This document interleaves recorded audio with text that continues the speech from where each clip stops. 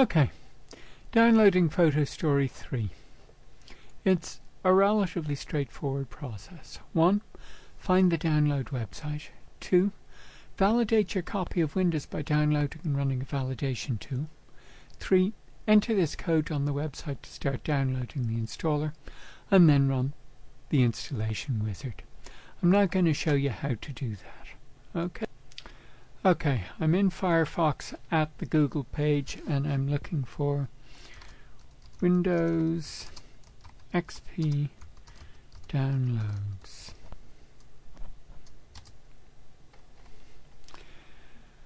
Okay, it's the second one here. It's Windows Microsoft.com. So that's the one we're looking for. This gives us a whole bunch of tools. You can see them all here. The one we're actually looking for is Photo Story 3 and you find it by looking for this purple patch. Double click on that and it takes me to the Photo Story 3 website.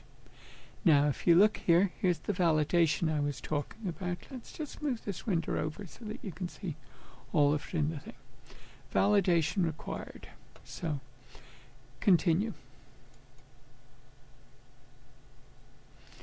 Now this steps us through the download process. When I hit continue here, it downloads genuinecheck.exe. So save file. Okay, now this is where all my downloads arrive. So genuine check, I run that. Do I want to run this file? Yep, I want to run it. That's running now and it gives me a code and I say copy to clipboard. Okay, can then put that away, put this away. now, if you look here, there's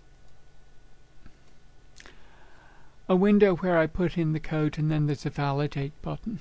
Now I'm going to do that, but I'm not going to show that on screen just in case Microsoft are a little uptight about me giving away that code for a genuine one.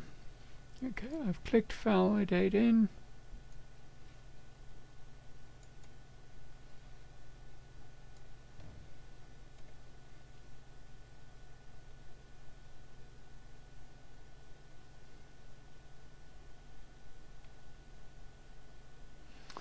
And this gets us to the point where we can do the download. Chosen language is English, there's the things, etc. Well, you know, you can read the fine print or you can just hit the button that says download. Click download and here it comes. I'm saving file. Okay, we don't have to wait for all of that. Okay, the installation file has now arrived in my downloads. To run it. And this takes me to the wizard. Here's the wizard now. Next. It'll guide me. I accept. Next. Install. That's where it's going to be on me, so I'll leave it there. That's okay. And then hit install. And we have the usual wait while it installs bit. It says several minutes. It has never taken more than about 30 seconds with me. So finish and we're ready to roll. That's it. It's that simple.